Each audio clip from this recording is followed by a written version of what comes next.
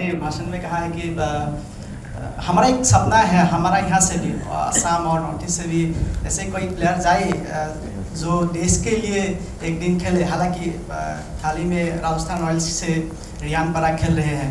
तो क्या है आपका विचार उस पर और रियान पराग की परफॉर्मेंस पर आपका क्या राय है? क्या विचार है? आप तो देखते हैं उसकी खेल। नहीं, मैंने वही कहा पिछली बार भी कि मैं चाहता हूँ कि यहाँ से कोई अच्छा खिलाड़ी देश के लिए कहीं से देश के लिए ही अच्छा है, दिल्ली कैपिटल्स के लिए अच्छा है।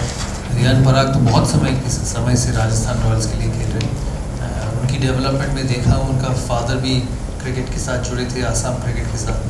तो हमारी सब की शुभकामनाएँ उनके साथ है।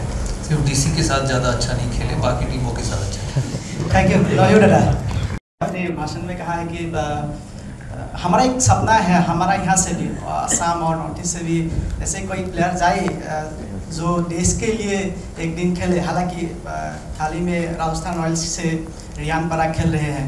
तो क्या है आपका विचार उस पर और रियान पराग की परफॉर्मेंस पर आपका क्या राय है? क्या विचार है? आप तो देखते हैं उसकी खेल। नहीं, मैंने वही कहा पिछली बार भी कि मैं चाहता हूँ कि यहाँ से कोई खेले। अच्छा खिलाड़ी देश के लिए कहीं से भी निकले वो देश के लिए ही अच्छा है, दिल्ली कैपिटल्स के लिए अच्छा है। रियान पराग तो बहुत समय समय से राजस्थान रॉयल्स के लिए खेल रहे हैं। उनकी डेवलपमेंट में देखा उनका फादर भी क्रिकेट के साथ जुड़े थे, आसाम क्रिकेट के साथ। तो हमारी सब की शुभकामनाएँ उनके साथ है। सिर्फ़ डीसी के साथ ज़्यादा अच्छा नहीं खेले, बाकी टीमों के साथ अच्छा थैंक यू अपने भाषण में कहा है कि हमारा एक सपना है, हमारा यहाँ से भी आसाम और नॉर्थ ईस्ट से भी ऐसे कोई प्लेयर जाए जो देश के लिए एक दिन खेले, हालाँकि हाल ही में राजस्थान रॉयल्स से रियान पराग खेल रहे हैं। तो क्या है आपका विचार उस पर और रियान पराग की परफॉर्मेंस पर आपका क्या राय है? क्या विचार है? आप तो देखते हैं उसकी खेल। नहीं, मैंने वही कहा पिछली बार भी कि मैं चाहता हूँ कि यहाँ से कोई खेले। अच्छा खिलाड़ी देश के लिए कहीं से भी निकले वो देश के लिए ही अच्छा है, दिल्ली कैपिटल्स के लिए अच्छा है। रियान पराग तो बहुत समय समय से राजस्थान रॉयल्स के लिए खेल रहे हैं। उनकी डेवलपमेंट में देखा उनका फादर भी क्रिकेट के साथ जुड़े थे, आसाम क्रिकेट के साथ।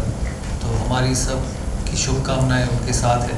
सिर्फ़ डीसी के साथ ज़्यादा अच्छा नहीं खेले, बाकी टीमों के साथ अच्छा थैंक यू अपने भाषण में कहा है कि हमारा एक सपना है, हमारा यहाँ से भी, आसाम और नॉर्थ ईस्ट से भी ऐसे कोई प्लेयर जाए जो देश के लिए एक दिन खेले। हालाँकि हाल ही में राजस्थान रॉयल्स से रियान पराग खेल रहे हैं।